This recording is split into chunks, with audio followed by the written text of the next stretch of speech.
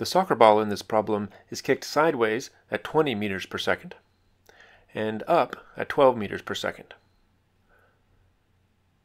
So it takes a path that looks something like this through the air, finally returning to the same height that it started from, on the ground. Part A asks us how much time is required for the ball to reach its highest point. That's this point up here. At that point, the vertical velocity component is zero. The ball's changing from moving up to moving down. We can find that time using the first kinematic equation.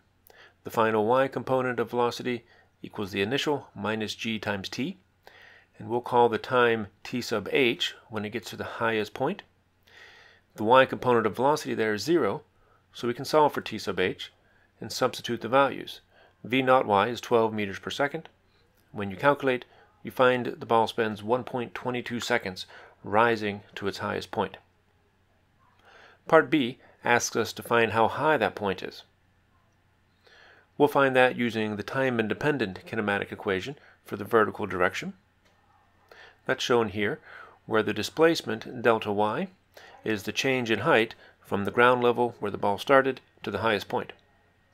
The final y component of velocity is 0 at the highest point, so we can solve for delta y.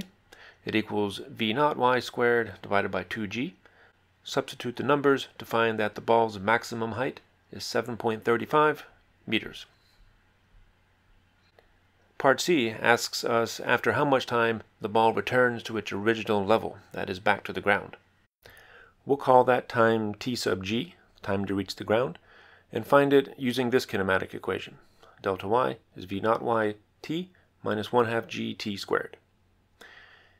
When the time t equals the time to reach the ground, delta y, the change in height, equals 0. There's no change in height from when the ball was kicked on the ground to when it returns to the ground. Knowing that time is not equal to 0, we can cancel one of the times from this equation and rewrite to get this, and then solve for t sub g. It equals 2 times v naught y divided by g. And you notice that this is twice the time it took the ball to get to its highest point. The time to get back to its original level is twice the time to get to the highest point, and that works out to 2.45 seconds. Part D asks how far the ball travels horizontally during this time. We'll find that using the horizontal displacement equation. Delta x is v naught x times t, the initial x component of velocity is 20 meters per second, that's constant, and the ball spends 2.45 seconds moving sideways, so it travels 49 meters, the distance shown here.